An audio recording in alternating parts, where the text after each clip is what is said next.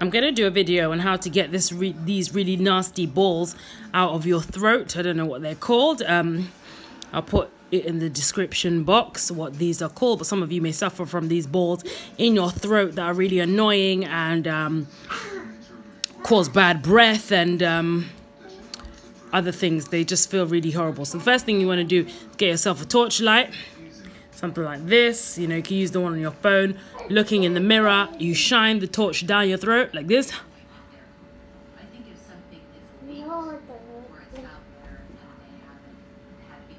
As you can see it there in the back of my throat. So what I'm going to do is shine the torchlight and then get a um, cotton bud as well. And I'm going to try to dislodge the... Um, I'm going to try to dislodge the ball from my throat using the torchlight and the cotton board bud.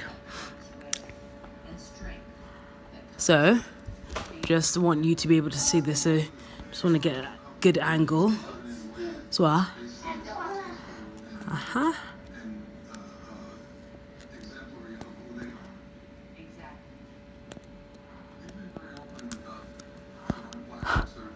It's really difficult to hold a torch, a phone, and a cotton bud. So we'll work it out. Ah.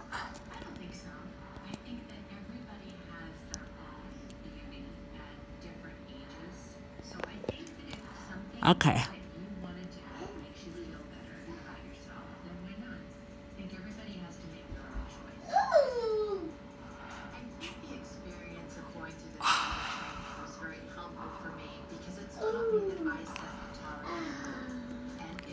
Just need a bit of um a break.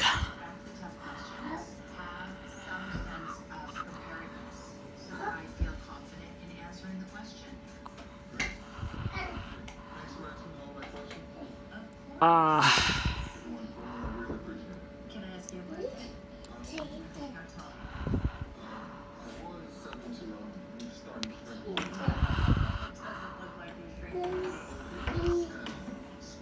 There it is. Dislodged from the back of my throat. So I can feel like I can actually talk now. I don't know if you can see that properly. You can see Horrible little sucker. Really terrible. They smell awful as well. Oh, Lord. Um, you know, sometimes if you wake up in the morning, it's kind of like morning breath almost like morning breath, but it just it, you can feel it in the back of your throat, and it just you know you sometimes you can get it out by coughing or something like that, but other times it just it just it's just really annoying. So just so you can see that again. Let's try to get that into focus. Really terrible looking thing. Um, that's it. So that is how you dislodge one of these babies from your throat if it's causing you any trouble whatsoever like it has been doing to me for the whole of the today. Um, just get a cotton bud. You can use the flashlight on your phone just looking in the mirror and um, you can take it out with one of those. Um, let's just see if I've got any more in there